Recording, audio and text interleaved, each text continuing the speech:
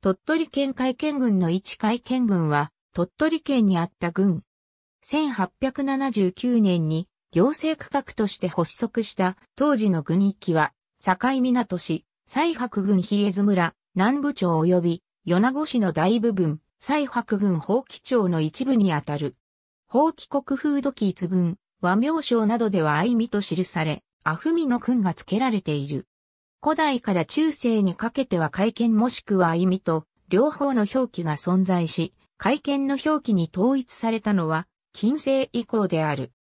演技式に見える愛、美駅は長者屋敷遺跡付近とする説などが出されており、軍家の所在地も会見橋とする説、古代の建物跡が発見された長者屋敷遺跡とする説などが存在し、現在では後者の方が有力である。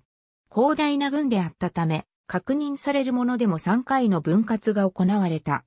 平安時代末期の同軍内の豪族であった岸重森は、海東軍主を自称していたことから東西に分割されていた時期があったものと思われる。豪、和名類受賞に記される軍内の里。この他にも、アマリド里、鴨里が他の資料などに見える。式内社、演技式新名帳に記される軍内の式内社。江戸時代には法暦4年、安政5年に軍の分割が行われ、前者では東海県、西海県に、後者の分割では、口海県、奥海県に分けられた。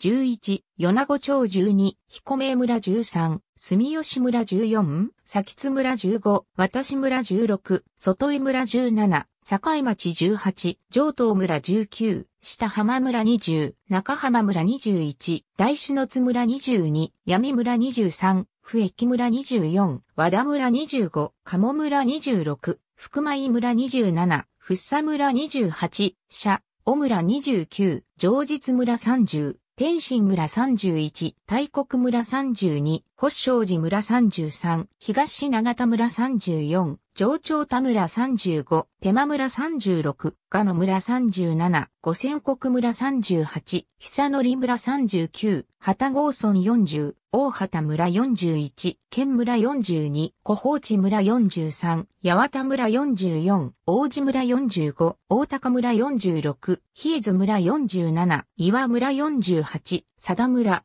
ありがとうございます。